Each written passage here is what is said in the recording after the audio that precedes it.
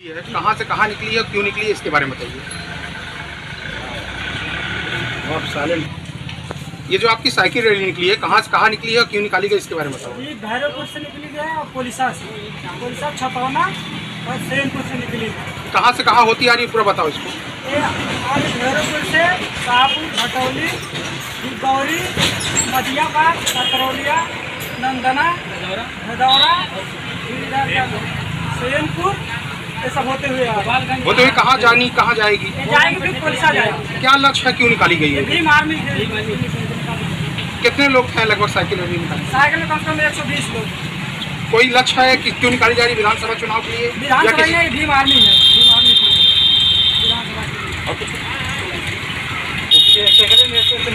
किसके नेतृत्व में निकाली गई है? कौन मेन आपका मुखिया कौन है यहाँ का? आनंद भाई तो आनंद